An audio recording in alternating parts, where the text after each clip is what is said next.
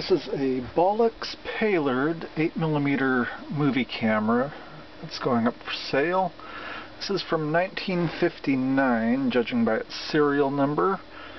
And this is just a quick demonstration to show at least that its motor works. I can't really test it any further due to not having the uh, weird uh, split 8mm film that it takes. And of course no way to develop it. Anyway, first wind it up.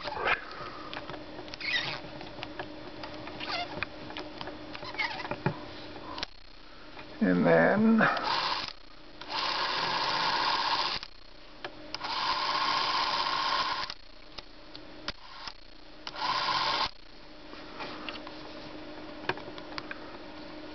as you can see the motor sounds pretty good still. It comes with a reel.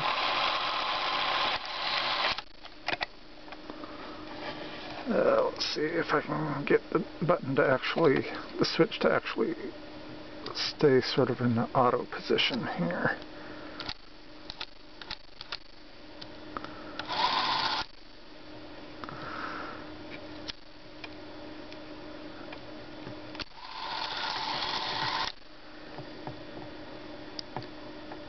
I had it sticking earlier, not sure.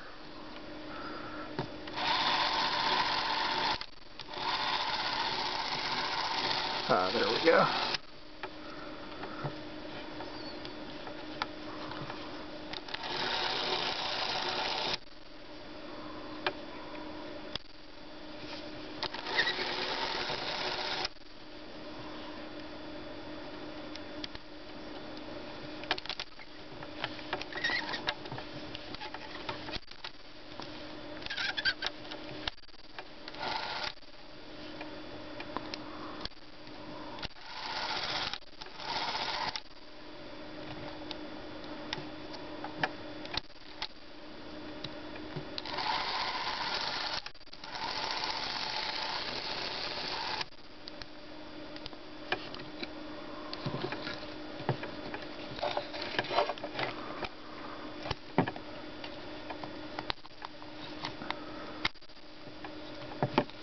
Let's give it one more go here.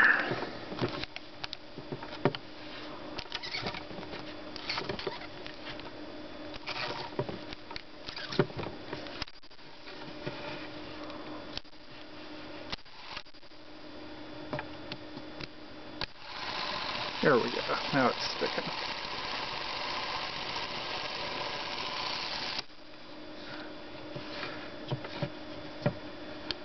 And it's missing a little plate uh, on the bottom here, which I believe showed different exposure settings.